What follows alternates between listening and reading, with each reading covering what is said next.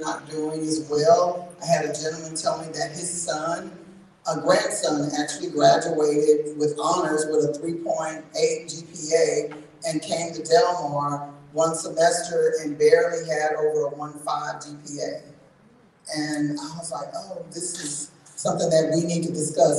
I don't expect that we'll have solutions, but I hope we have some ideas tonight as a collective that can move us forward and help us um, help us help our children and our um, students that are moving into higher education. So I want to go ahead and introduce the moderator. Our moderator is Reverend Christopher Hall. He's the pastor of the Pilgrim, Pilgrim Rest Missionary Baptist Church, and I'm biased because he's my pastor. he's my pastor, and so he's going to be the moderator. He's going to go through the questions. We're going to allow the panel to introduce themselves and say what they do and where they work and any other information they'd like to share, and even a fun fact that you'd like to share about yourself. So I would like to introduce Pastor Hall. And also Pastor can give the word of prayer.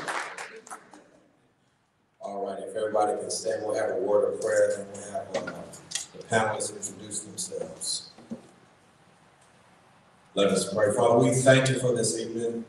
Lord, we thank you for this place that you have opened up, the doors you've opened and allowed us to come in. Father, we thank you, God, for uh, all who are simply here tonight. Father, we pray right now that as we come together in your name, let everything be done for your glory, oh God, and for your kingdom building business. Father, now as we uh, gather on tonight, Father, we pray, oh God, that ideas, thoughts may come together uh, for the fruition of our young people, oh God, that we may come together for their benefit, oh God. We know that our foreparents and so many have paved the way and opened up doors.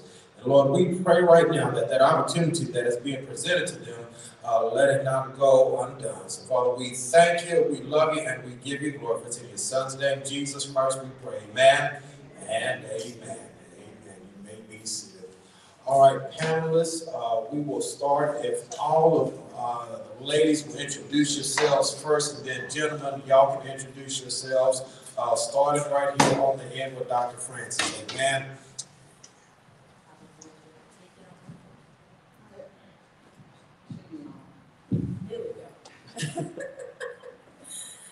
Hello, everyone. I'm Dr. Tammy Francis. I'm an educator, strategist, consultant, author, and speaker. I help you move in the direction of more and prepare for what's next. And I'm also an associate professor of reading here at Del Mar College.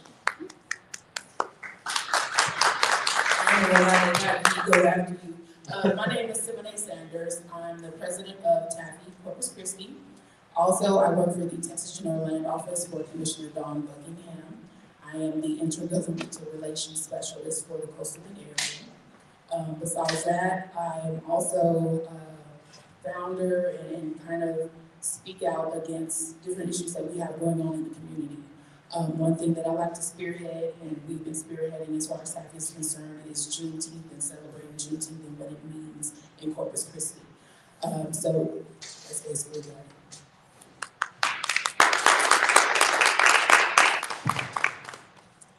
Hi, everybody. I am Alice Upshaw Hawkins. Um, I'm a retired public, public educator. I teach uh, here on the Del Mar campus. I've been here uh, since 1993. So I'm celebrating 20 years of being an instructor on this campus. I also sit on the library board, library board of uh, Corpus Christi uh, Public Libraries. I am a trustee, board of trustee for eight years for Corpus Christi Independent School District.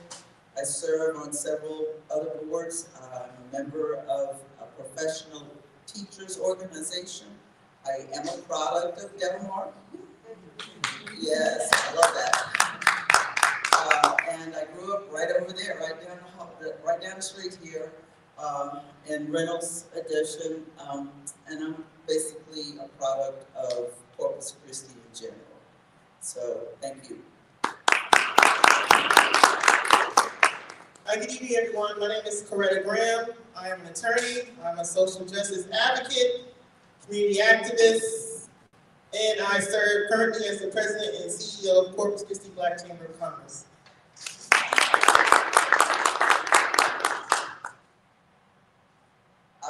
Say that I do lead up the president, I'm the president of the League of Women Voters of Corpus Christi. I broke that glass ceiling. Woo. Yay. Seventy-eight years. First black.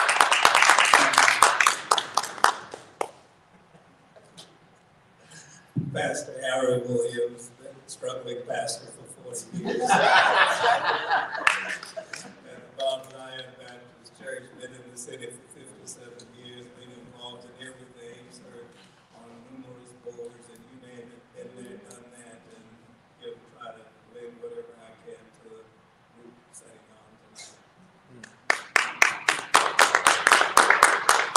Jeremy Coleman, NAACP, also serve on the RTA uh, Regional uh, Board of Directors, and also um, uh, activist here for our community, not as strong as Dr. Graham down there, she uh, can really get out there. But uh, just enjoy just being a part of having community and discussion and really making an impact here in Corpus Christi. I'm Anthony Sanders. I'm a deputy chief of the police department. I've been on the department for 23 years, uh, 10 years Navy. Uh, before that, so I've been in Corpus since actually 96. So um, it's good to be here. I'm not a product of Corpus, but uh, I haven't done as much as everybody else has done. So glad to be with. Thank you.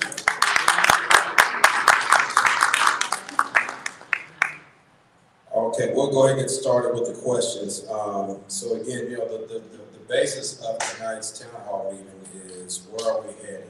Um, and the, the framework for these questions is centered around education. Um, and so this is not some type of I got you or pointing the finger at somebody, but, uh, coming together tonight, I believe this is the beginning of something, the genesis of something to where we can really, uh, hone in on the struggle that our young people are having, not only in, in, in high school, but also in higher ed. So starting out, uh, with Ms. Hawkins, uh, them, there's a mic down on, on your end down there. Um, so Ms. Hawkins, where are we headed in K through twelve, higher education to decrease the number of casualties? Well, let's, let's just define casualties first. Uh, I would say, um, dropouts, uh, students not completing higher ed, Okay, well, just, just speaking from, uh, the perspective of an instructor here for the last twenty years, um, we are headed downhill in terms of our black students and our black population. Um, in the twenty years that I have spent teaching thirteen oh one, uh, freshman composition, thirteen oh two, freshman composition, I think I can say I've had about five or six students to come through my tutorage. And out of those five or six, I think I can remember that I only had three that actually remained in the classroom and got a, a grade for being in the classroom. Every semester, I will end up with maybe one or two, and there are semesters that I don't have any African American students. Uh, but when I do, after two or three weeks, a month or so, they cease to participate, they don't come to class, they don't do their work. But it's not for a lack of, of opportunities. Del Mar and, um, Mrs. um, Cage knows Del Mar has gone over and beyond putting out services to help our students. And uh, one of the things that I see that is detrimental to them not being successful is they won't seek the help. We have writing centers. I, as a, a, an instructor, just this year, they said we didn't have to post uh, office hours, but up until this past year, I had to actually post office hours for every class that I had. I would encourage students, come see me, call me. I even give students my phone number. And some people like, you give your students, but I said, yes, I do. Because I don't want any of my students to not be able to contact me if they have a question about the topic, about the assignment or anything that has to do with my class or my assignments. But I never get the call. And I think that part of that, and I tell my students, that part of that is our public education system. And I'm gonna be real here. Part of the public education system is failing our students. And it's by design. Y'all know about the vouchers? We've had four, what, four callbacks on route vouchers. And we are being held hostage. Public education is being held hostage by not giving us money to support our schools and our students. No vouchers, no funding. And you can find that in any major newspaper that's reporting. So part of it comes from public schools, part of it is on their own. And I would encourage parents, grandparents, aunts, uncles, if you have a student that is enrolled in college, encourage them to seek the help. Encourage them to, we have a writing center that's designed to help people write any type of essay that they want to. Every single person that works in that writing center is a degree person. We don't hire people that are not degree, they are professionals. If students would seek the help, I do believe that we would see a better success rate than what we're seeing. I don't So, know, I don't know if I answered your question. yes, and, and so this leads me to this, what do you think are some of the obstacles or roadblocks that are hindering students from seeking the help? Well, I, I think the, the very first thing that I think about when students don't seek help is they don't know how to study. Our students don't know how to study. For the last 10, 15 years, our students have been taught to the test. And every superintendent will tell, oh, we don't teach the test. Yes, we do.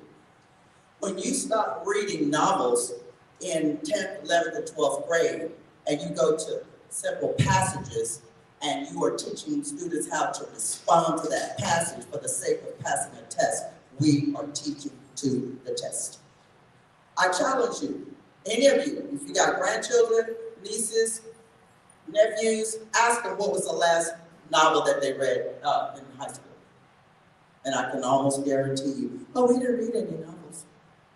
And I run into that every day in my classroom, right now.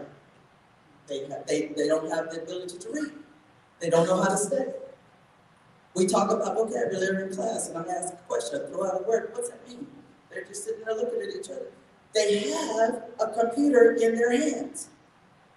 And they will not scroll and go to Webster Dictionary online and type in the word and get the answer. So I think it's a lack of motivation. I think it's a lack of us pushing and pushing and pushing. Don't take no for your students and your nieces and your nephews. Keep pushing them to stay in school, get the help. If they tell you there is no help, call me up. Call me. Thank you, thank you, Ms. Hawkins. Uh, Dr. Francis, same question. Where are we headed in K, well, in, in higher education, I'll leave it at that, where are we headed in hi- higher education to decrease the number of casualties? So I agree with uh, Ms. Hawkins. So I'm going to go from a different angle and add to that. I think the other piece is the way we look at credentialing. I think that we are tip, used to the typical way of credentialing. You get a high school diploma, you get an associate degree. If you decide to go that route, you get a four-year degree. Now micro-credentialing is very important, and that puts those little checkpoints, so to speak, in as success points. I'm sorry, Dr. I don't mean to cut you off, but everybody may not be familiar with the term or the phrase credentialing. Could you explain? diploma, associate degree, bachelor's degree. I thought I said that, but just in case. All right, um, so get those degree, those type of credentials. Um, and that, that's the general term used because depending on if they want to do a certificate or they want to do a actual degree, it's credentialing, it's just getting that, um, paper, as we like to say. So, um, So there, so that's one thing. I think now students have so many options. I remember growing up and it was you go to school, you go to college, and you get to work, and that was it, right? You get it in that path. Now, with the emerging technologies and all the things that are happening, there's so many other options for students. So I think one of the ways that we need to do in public education, I don't know much about private or any other, so when I speak, I'm only talking about my experience, my 24 years in public education. Um, we're, education is always behind. Education is always the last to change and shift. And I think one of the things that we have to look at is how we are structuring the educational um, levels, for lack of a better term, elementary, middle school, high school, college, university, um, and how we structure those and how we are, what type of curriculum we're offering to students that are really making them prepared for the future. I think a lot of what we do in education is antiquated, and therefore we lose a lot of students who are not engaged and or can see the relevance to their life. So I think, one, we have to think about the future of work. We have to think about how this looks as far as credentialing. Should we be offering more micro-credentialings? I think now, with the age of video and instant gratification, students need more checkpoints in saying, yes, I completed that. Yes, I completed that. And then it adds up to that associate's degree. It adds up to that bachelor's degree. So I think in just the way public education is structured and organized, that transmission model, I teach, you listen, that's no longer um, working. It hasn't been working forever, but now it's really not working. Um, and it's more evident. So I think we lose students to this traditional quote unquote system. So I think those are some of the things that we should consider um, and should be considered in education. And that's one of the things that I advocate for in the spaces I occupy um, as far as education. And it's very difficult to get people to see like it's time for us to be innovative and think about what is a part of our degree plan. What are the courses we're offering? How are they offered? There's some teachers and professors that have been teaching for 30 years and they've taught one class 30 years. one class, they haven't done any innovation, any changes in their curriculum. And so I think, you know, all those things, you know, we always say the students to students or the teachers to teachers, but I really think it's just really the system and how it's structured. And I think there, there are so many things, and I'm a curriculum and instruction, in case you don't know that, that's my area. So I really think about the layers of curriculum, the hidden curriculum, the taught curriculum, the recommended and suggested curriculum, um, all of those, curri- the tested curriculum, which Ms. Hawkins talked about, um, all of those things. And I think we need to look at all aspects of it. Thank you. All right, this, uh, next couple of questions is for TABPHE and NAACP. Um, so if, if you would please, start out with TABPHE, would you please give us your mission? Uh, what is, what is the mission of TABPHE? Ooh, you would ask me that. Um, um, TABPHE is a five oh one C three statewide nonprofit with different chapters across the state of Texas. But our main mission and focus and goal is to assist African American students, educators, staff members, uh, to make sure that they have a quality of education, uh, life at the university or, or education period. Um, that, that's what we focus on, that's our main mission and goal. So anything that pertains to achieving that mission, that's what we plan to do. And, and, and what type of impact has TABPHE had on, uh, community that it serves? Um, I, I think we've had a positive impact, and just to go into what Tammy said and, and what's been stated before, um, even when they're speaking about it, um, we know there's a lack of foundation as far as what's being taught and what's being done. And I just personally think that we might have been on a downhill slope before, but I think COVID further impacted that. And these kids now are into instant gratification. So what we do is we try to make sure and see how are we playing catch up to fix a problem, which is what usually happens with the system. Um, coming behind the scenes, you failed TSI testing, now here we are trying to help you make sure you have some hands-on experience to see why you're failing these tests. Um, that's what we do is, it's usually we're called in after there's been a problem and we try to help fix that problem or situation. Thank you. All right, uh, same for NAACP. Um, what is the mission of NAACP?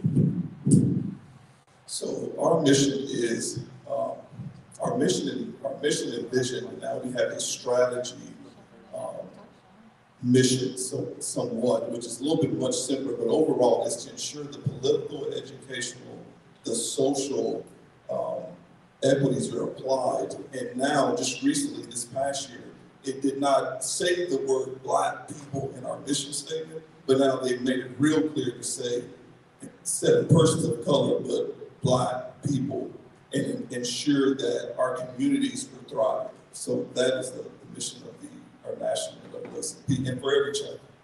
Okay. And then, um, what are the organization's objectives towards education?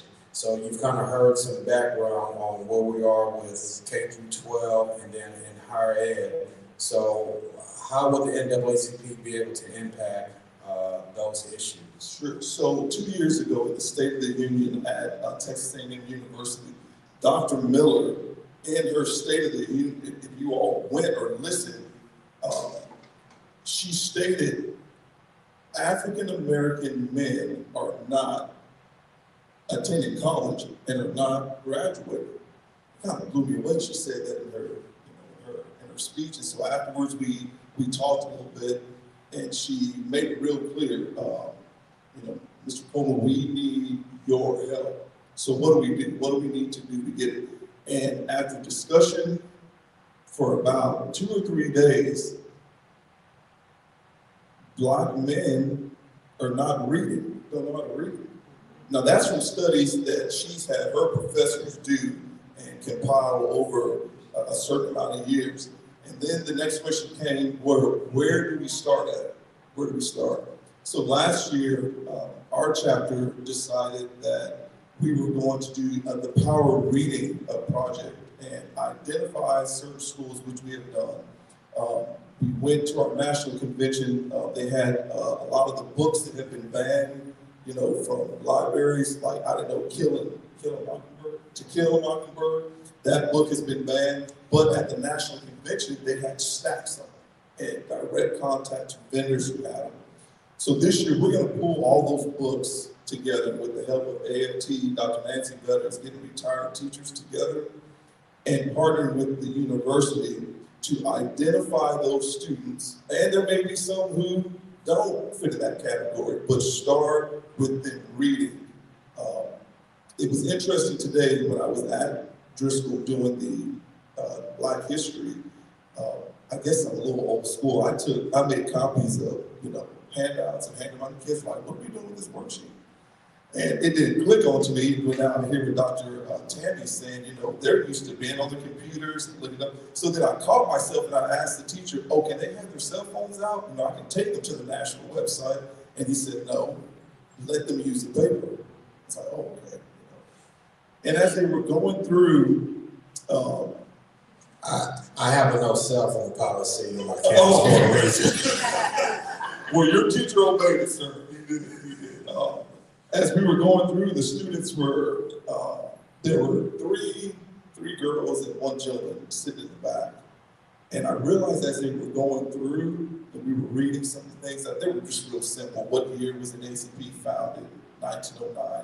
And then when I, I listed on there, uh, can someone read out what it says? And as they started reading, I could tell uh, I guess the word is phon- phonics, you know, your, your vowels using that. I could tell some of them could not pronounce those words. And it just took my mind right back to what Dr. Miller, Dr. Miller said. So to answer your question, we're partnering with A&M University, and this year, um, that, that's going to kick off in three CCISD elementary schools, two middle schools, and we haven't got to the high schools yet because we really feel it's in the elementary and middle schools where it's going to make the most impact.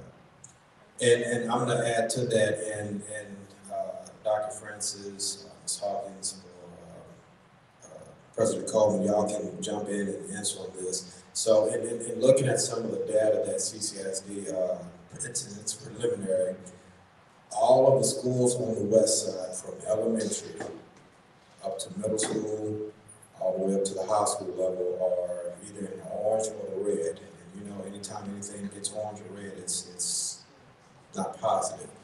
Uh, but yet still going from the central side of town, going up to the south side, most of those schools are green and blue. So in looking at that, um, where are we headed? Because we know, as, as, as, you know, President Coleman just, just stated, it's not just at, at, at Driscoll, but at, at many other campuses. A lot of these students, they are having a hard time reading while they're in first, second, and third grade. And, and so where are we headed? I mean, what can we do as a community to help these, these babies before they even get to the middle schools? Uh, One of the things that CCISD has uh, invested in, and I've been a part of that for the last two or three years, is we have beefed up our pre-K program. And research, and every educator in here knows that if a child is not reading by third grade, he or she is destined to fail. Uh, we learn to read up through third grade. We read for information after third grade. And part of the issues are in lo- the low socioeconomics. The socioeconomics has a lot to do with our children not being able to read. Part, a lot of it has to do with single uh, family, uh, single parent families. Uh, I'm not gonna put all of that on the single parent because my sister and I were raised by a single parent. Uh, but socioeconomics plays a lot in our children reading. Many of our parents don't take or have the opportunity to send their children to pre-K. Uh, because it, it, up to this point, it has been almost um, unaffordable to send children to pre-K if you don't have some kind of stipend from the state government. Uh, but we all know also that the prisons, the prison system, and I'm not telling uh, educators this, they know this, but the prison systems uh, have been studied and designed through third grade. They look at third grade scores across the, the state. Depending on how many children can read by third grade, that determines how many prisons they are going to build. That is how they get their metrics. So, and, so many people don't understand and know this. So if we are working toward helping our pre-K children learn to know their colors, uh, can cite the ABCs, count to ten or twenty or hundred before they get to three years old, they have a chance. Anything past that is, it, by the time they get to that, those kindergartners have already exceeded that. So when you get these pre-K that have not been trained, have not been taught, do not have that, uh, that, um, help at home, then those children then are destined to fail.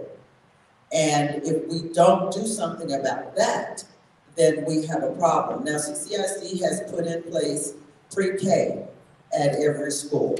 Every elementary school, we have a pre-K program. And it is based on, some that, some of the parents have to pay based on their salaries and what they bring home. Other children who are in the lower socioeconomics don't have to pay. But we are trying to get our children ready to go to kindergarten.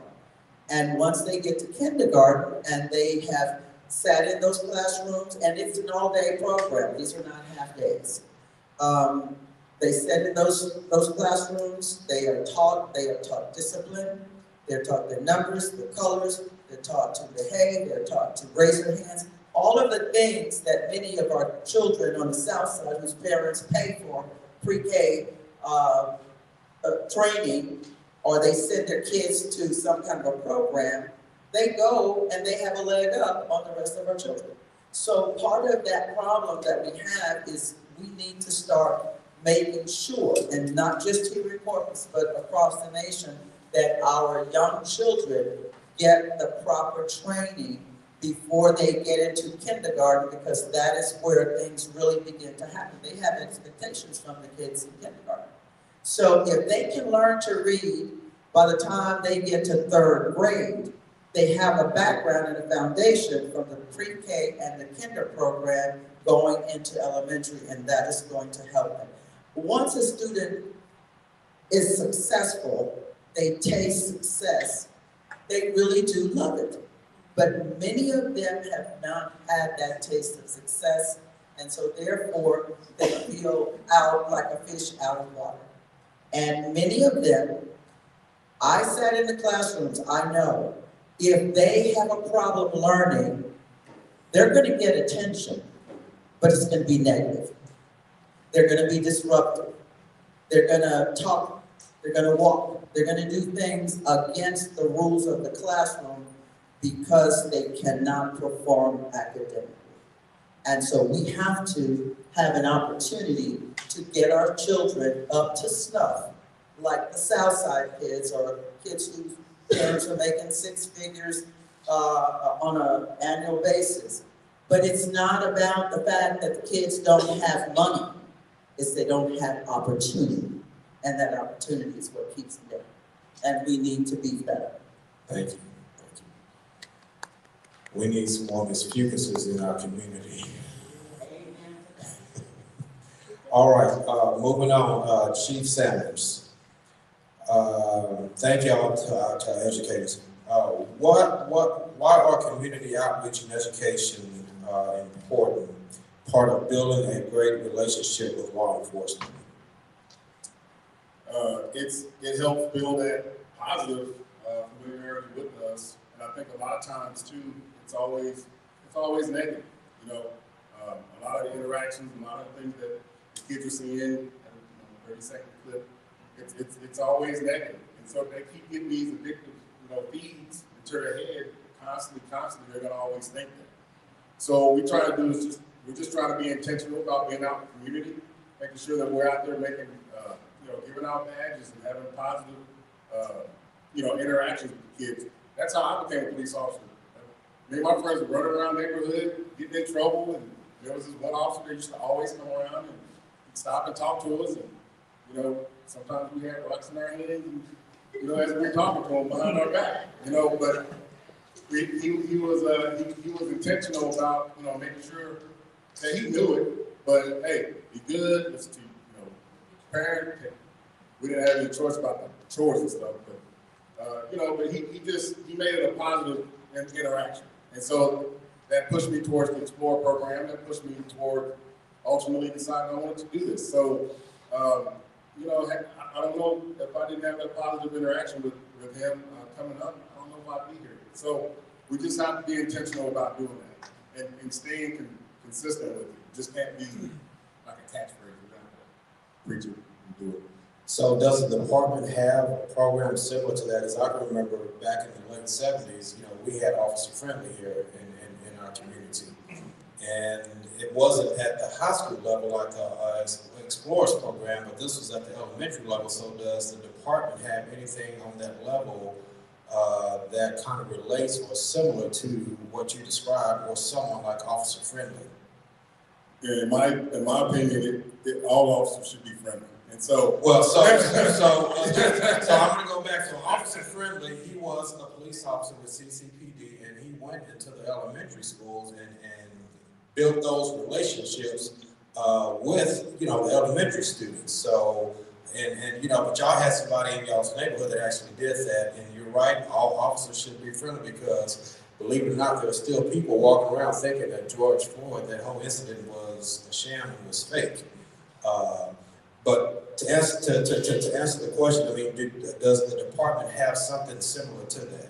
we do have an Explorer program, like you said, but we, we don't, and I, I think we're kind of getting away from that.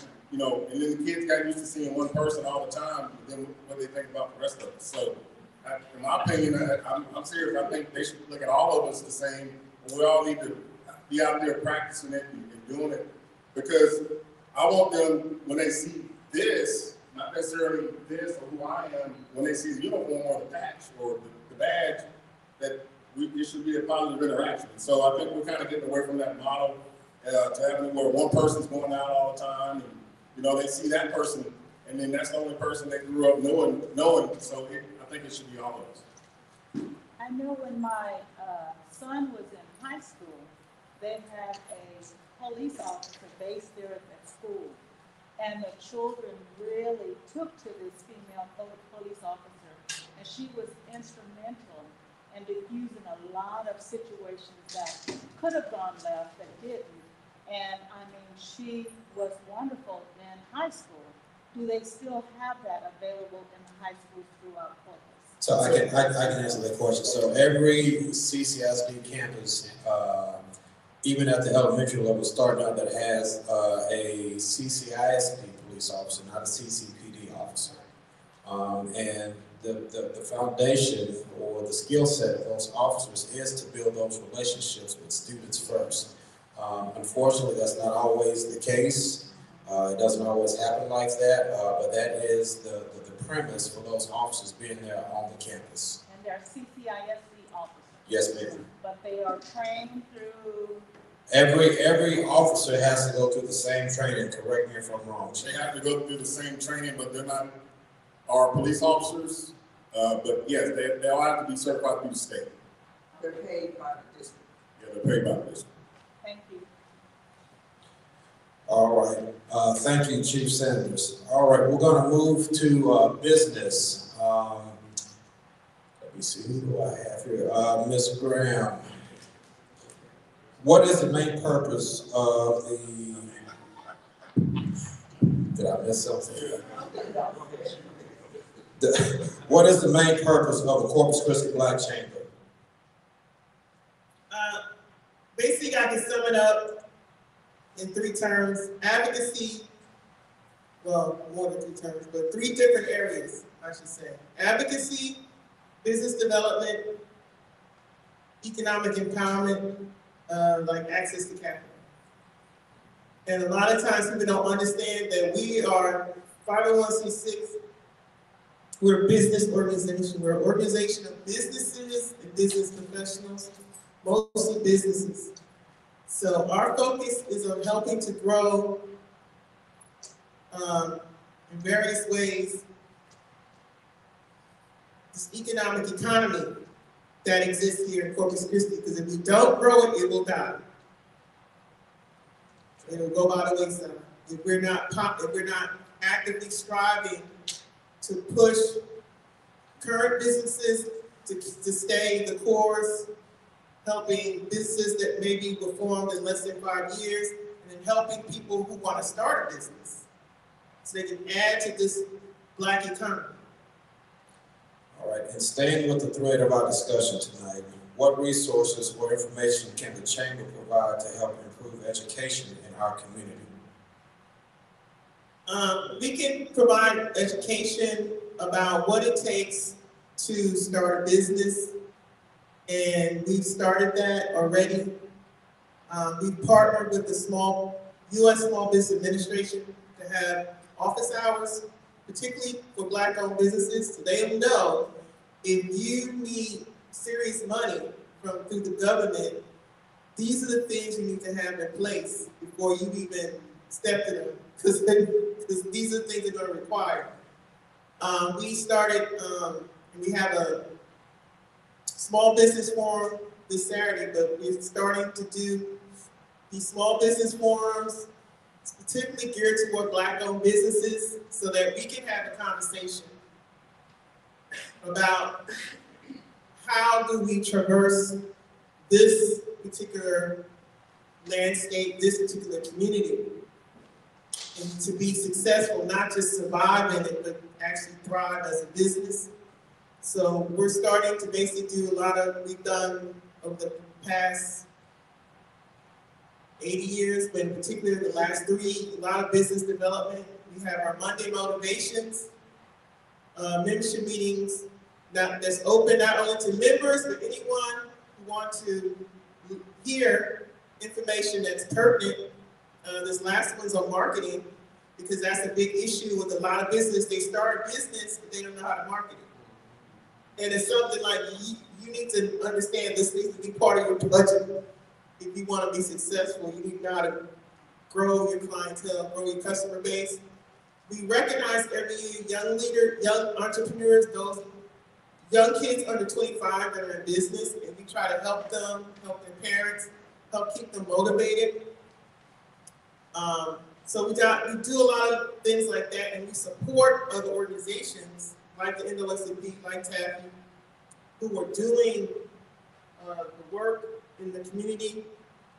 That's not necessarily our mission, but we recognize that there's a partnership, there's a collaboration, because we need, it takes a village, and we're trying, we, for some reason, we, I don't know, we gotten away from that concept, but that's like an African concept that we need a village of people to help raise our children, in whatever, in the different various aspects.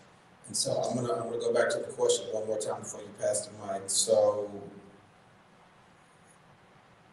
I, I heard you speak on the, a certain age level, but talking about our, our high school students and, and, and our college students, um, what can we do as a Black Chamber of Commerce to help, help those students? And, you know, looking at it at, the high school level, I know there's a career technology program at every single high school. How can the Black Chamber of Commerce insert ourselves into those uh, high school programs uh, to maybe help? Because I, I talk to young people a lot and, and I hear them say that I want to, you know, have my own hair shop. I want to have my own salon shop. Um, do they know what it takes? Because I asked them, do you know what it takes? I mean, you, you got to start out renting from somebody. And don't just don't just stop at rent, but you want to make sure that you know that you can go out and buy your own building. So, uh, what are we doing to help promote and, and, and, and educate our young people uh, that are looking to be entrepreneurs and business owners? Um, Last year we started our Black Wealth Summit, and that's, I mean, all our programs, most of them are open to the public. We tried to add a youth component to try and get young people in there to do financial literacy. They need to understand money. Right. But, you know, that's always a challenge. If you invite us to come and partner with you to do a presentation, we will do it. You know, we, we went, we got asked to participate in a, uh homeschooling event for Black History Month at the Museum of Science History. So we said, okay, who wants to go and represent the chamber, talk about, you know, different, uh, black figures in our history and emphasize a black business owner, you know, you know, throw that business in there. But we will partner with anyone who wants, you know, you doing something with, you know, uh, for a career day, we can definitely come in, partner with you to educate people about, you know, starting a business. You know, business one-on-one and you know, we partner with banks, because a lot of them have financial literacy programs already, but, you know, we'll partner with anyone who wants us to come in and help and provide that information. It's just a matter of just letting us know. Thank you so much, Dr. Francis. I see you have the mic. You can put it down. I did, because she mentioned it, because I was gonna say, you know, um, get the youth thing, so I was trying to remind her, but she said she got there, so we're good. All right, and then moving along, uh, Pastor Williams. How can we engage the community in education, being a former school board member and a, a current pastor in the city? How can we as a church, uh, engage community in education? Well, let me just tell you that, uh, being an octogenarian now, this is, this is all quite troubling to me. Uh, coming from where, you know, I come from and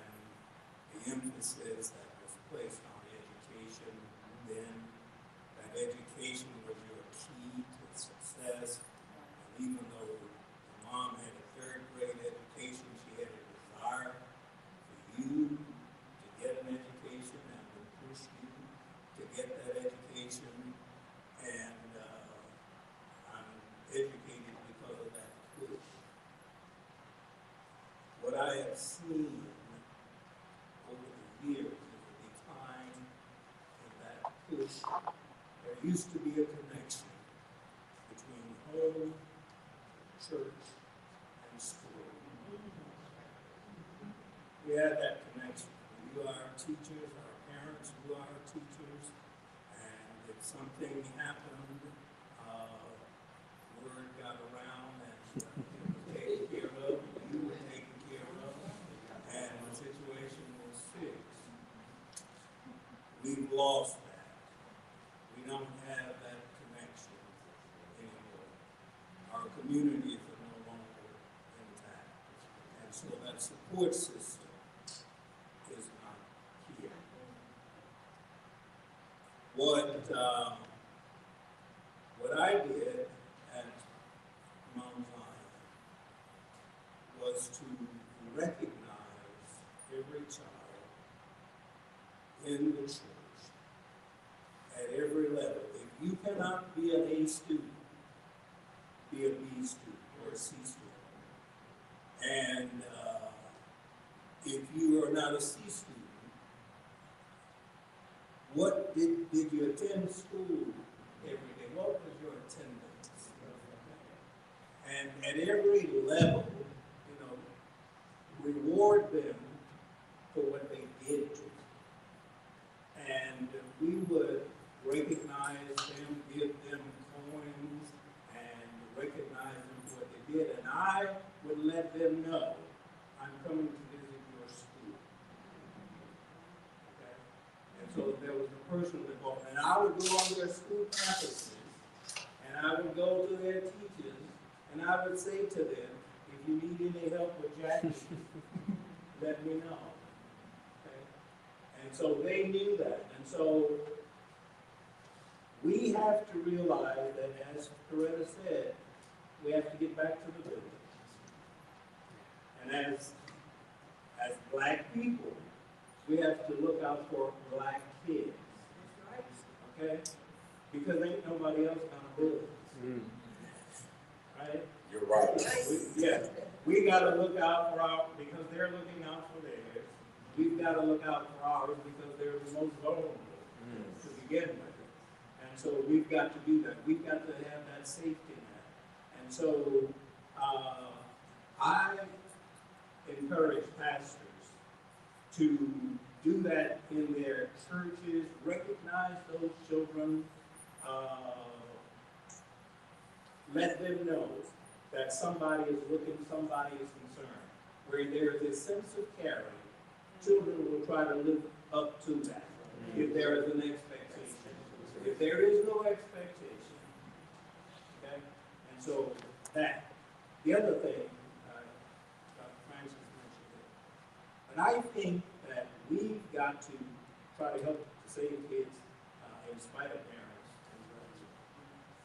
But they need to know that there is a connection between what they do in that classroom and how they fare later on in life. Why are you here? Okay? I took my students, uh, my church kids, I took them to New Orleans, took them to Prairie View, in, okay? And just those trips, taking kids out of their environment, letting them see something else. The girl who went to, because I took them to uh, Bayou Classic in New Orleans. And the fact that they were able to go there and see something else. One of them decided, I'm coming back here and to school. She went to Dillard University in New Orleans, graduated, received her doctorate at the age of 32. But it came out of that trip. Same thing in Prairie. To see the possibilities, Dr. Tracy Johnson today, when she went to Prairie View and saw what could be, she came back with the to get educated. So what I'm saying to you is that we have got to be personally involved in the lives of these children. We've got to let them know we care. We've got to do things to show that we show the relevance as it relates to their education. You need to do this because your life depends on it. And I used to tell children in my church, your brain is your bank. Okay? If you don't put anything in the bank, you're gonna write checks, and they'll come back bouncing because there ain't nothing up there. And so you've got to put something in here so you can make some withdrawals. And so, uh, we've got to get back to that, that sense of community, that sense of, uh, village mentality. And so, I totally agree, and, and I'm, I'm gonna add to that, um, because our communities have been disbanded here in, in, in the city. There is no Hillcrest, there is no North Side of what we remember and how it used to be.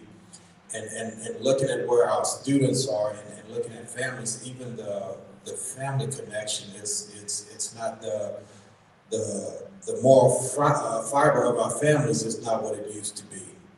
Um, and I, I totally resonate and understand what you're talking about because my grandmother, you know, she had a third grade education, but uh, it was her who really like motivated me and gave me the option to really get my education because I watched her and I saw her struggle and I was like, you know, this is not for me.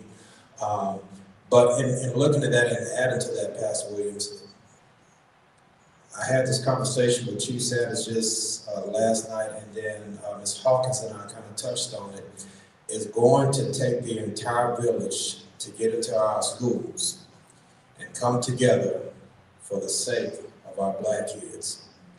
Because if we don't, we're going to continue down this path with these numbers that when these kids do, and, my wife, she used to teach here at and, and had the same struggle. These kids were graduating from high school but could not write a freshman composition paper. And if, if we do not get in and fill in the gap for these families that have been broken, for these students who are struggling to read and pass the TSI math test, those requirements that it takes to get to the higher ed level, if we don't step in at an early age and, and take them on the trips, like, it's enough of us in here right now to pull 20 students together and take them on a trip and let them know and introduce them to what college life could look like. As a former uh, coach here in the community, that was one of my things. I wanted to get these kids out of Corpus Christi. Every opportunity I had, we are going to go to Houston, to the Woodlands, to this track meet. We're not going to Robstown. You have to know there's something bigger and better out there waiting on you. Ms. Wooten and Ms. Hawkins know what I'm talking about. I mean, well, I I had to get them out of Corpus Christi because that's all they knew. And because they were stuck here in the city, they thought they were all, all of that. I said, no, baby, let me go show you. And, but right now, our families are not what they used to be, but that's, that's no excuse for us not stepping in and filling in the gap. Coming together, and, and I believe that this meeting tonight, it is the genesis of, of something big to help our students when they get to the higher ed, that they're not struggling to be successful. I mean, there's no way we have 400 black students here at Del Mar with that type of GPA. My daughter's on that list. One, one of my daughters is on that list. Thank God she's not one of the 400 because she knows better. But we have a responsibility to promote education because going back and, and, and Pastor Williams, you hit the nail on the head. That, that, that was our way out. Because our, our foreparents, they didn't have that opportunity. And I had to, I had an opportunity to share this with a, a group of students at, at Veterans Memorial just, just Tuesday night about the struggle that even my parents went through. And I told them, I said, I'm not that far removed from the struggle. I just told a little boy this morning, I grew up in a shotgun house on, on, on Waco Street across from Coles, uh, two, two houses down from St. Matthew. And I said, if I can make it with the help of God, so can you. I said, I grew up on the side of town. I said, I said, I'm no different from, from you. But if, if, if, if we do not come together now and really start to get into these schools and unify to help these kids, I mean, it's, it's going to get worse. Yes, sir. I really appreciate what Pastor Williams said, and we feel that that village approach, approach because we all come up under that same umbrella. And we got a good representation up there, kind of, of, of, of a village in our community. But I'd like to know that how do we take that same approach and expand it, because for the kids that were in our church, you know, I mean, uh, they were there because they had, you know, family that cared about them, parents that brought them to church and all that. But what about the kids that are not in church? Uh, those are the kids I think we're really concerned about. Okay. So How do we take that village approach and expand it? And, and, and I was getting ready to hit on that, uh, President Coleman, if you don't mind, just real quick. We are gonna have to get into the schools because these kids are not in churches. They are not, so we can't wait for them to come to the church, we gotta go to them. Go ahead, President Coleman. What I was gonna say is that, um, at the beginning, uh, Ms. Sanders and Dr. Brown mentioned programs that they are offering for free for, the you know, to the community. Uh, and I'm pretty sure, uh, that if we took those resources, um, like the math training that they or the, the, the tutoring and the literacy programs, or even what Pastor Harry Williams is doing at his church, and for those who are not in church, go out and reach out into the schools and maybe even take it a step further and really, you know, advertise it and push it through your black uh, organizations. Say, hey, we need to pull in. Who do you know that we can pull in? We know Ms. Cage and we know uh, Pastor Hall have a list of students who are failing. We, is it possible for us to make contact with these students and get, get connected with them? I was listening to you, uh, Pastor Hall, I mean, Pastor uh, Williams, and I thought about one thing. I clearly remember there being uh, many African American principals. I remember Sid Gardner and Verna Portis and Maurice Portis and Mr. Mel. Every level I went through, uh, it seemed like there was a black principal on those campuses. And I just truly believe that makes somewhat of a difference that our, I'm, I'm speaking of black students here, okay, that's what I'm, I'm, I'm referencing. That we're losing some of our black students uh, in the college level, the four hundred y'all referring to, and also in their reading and also in their, in their math uh, skills. Somehow, some way, and I mentioned this to Dr. Hernandez at CCISD, what are you doing to recruit black administrators, black teachers, black dean of instructions, where they can be seen on those campuses and we can build those connections. In one survey that was done last year by the National NAACP regarding education and the failure rate and the slipping and going from, you know, from high school straight to prison, what was the disconnect? So they did a study. They had black teachers and a few Hispanic and maybe Asian teachers on, on one level with a group of students. And then they had all Anglo teachers on one level with a group of students. And so as they transitioned the students out, they didn't tell them which rooms to go to. They just said, you can choose whatever room you go to, same material, same information, playing games, whatever they're gonna do in those rooms. And just about all the black students out of the thirteen hundred that were there, uh, overall, maybe the, the six hundred and fifty black, black students went and gravitated towards all the room where the black educators were. And it made a big difference in them building that, that, that relationship. I just think, sir, to go back to answer the question, that there are resources here. Maybe we need to do a better job of really pushing it and putting it out there. Um, I know I see the math resources that are there. I mean, our church takes advantage, at least our, uh, at least St. John, and, you know, it is emphasized. Uh, Tapping has a math course that's going on on Saturdays, and they really push it. Now, we hear it. We need to take the initiative, uh, for those who are maybe not as, you know, doing it as like Pastor Williams and Hall and, and maybe other churches that are doing it, those that are not. We need to take that initiative and lock in with these institutions that are doing it so our kids can have what they need. And, and, and, and President Coleman, I'm gonna hit on something you mentioned real quick, because this is really the reality of where we are with education right now. I'm in a position to where I go out on job fairs and, and recruit staff members and teachers. And I can speak from, all the way from San Marcos, all the way down to the valley. When I go to these job fairs, the pool of black candidates, it is extremely limited. Our young people are, are no longer interested in being an educator. And so if there's nobody in the pool, there's nobody to choose from.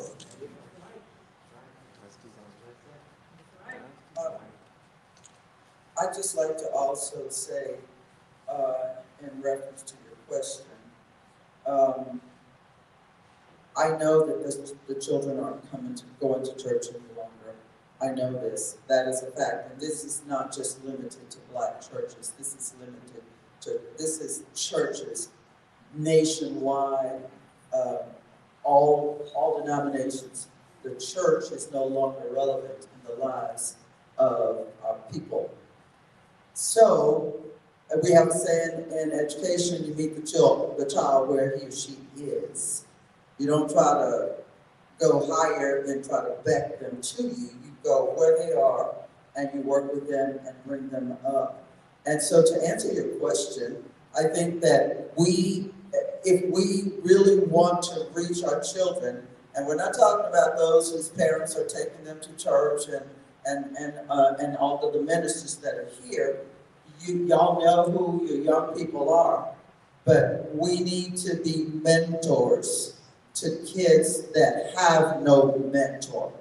We need to connect with counselors and find out uh, to what extent we can because of FERPA laws.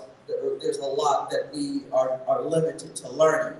But we can offer ourselves up as mentors to children and be willing to meet with those children uh, on a weekly basis, encourage them, holidays, uh, give them a present or take them to some event, um, and, and recognize them and encourage them and let them know. Even all of us have a story to tell up here, every one of us.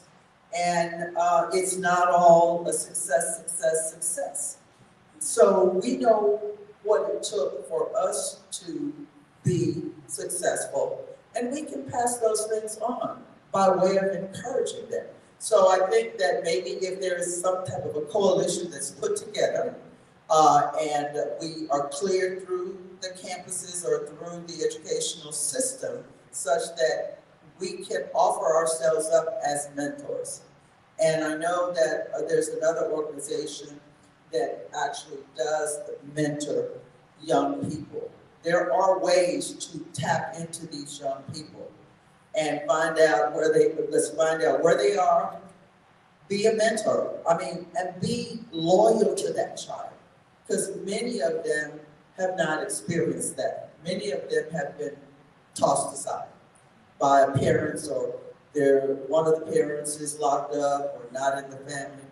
All of these are the ones that we really need to reach and encourage them, let them know they are important, their lives are important, and most of all, that without this educational piece in their lives, that they will be on the bottom end, what we call bottom feeders. And, and I tell people all the time, I didn't know when I was getting an education, I was talking the talk. I'm getting me an education so I don't have to work so hard. I, I just want to tell you a little quick story uh, to uh, augment this. My mom used to take me, I don't know, I don't even remember what my sister was doing, she, she wouldn't go.